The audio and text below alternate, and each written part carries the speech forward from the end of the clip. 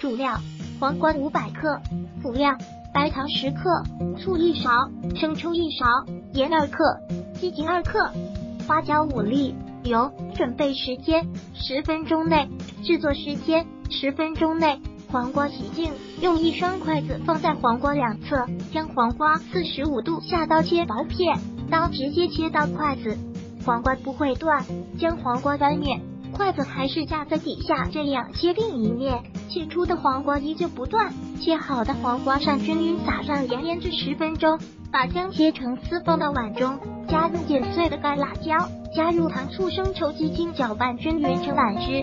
锅中放入少量的油爆香花椒，把花椒油倒入碗汁中，搅拌均匀。腌制好的黄瓜轻轻挤去汤汁，码放在盘中，把碗汁均匀的倒在黄瓜上，放入冰箱冷藏一小时即可。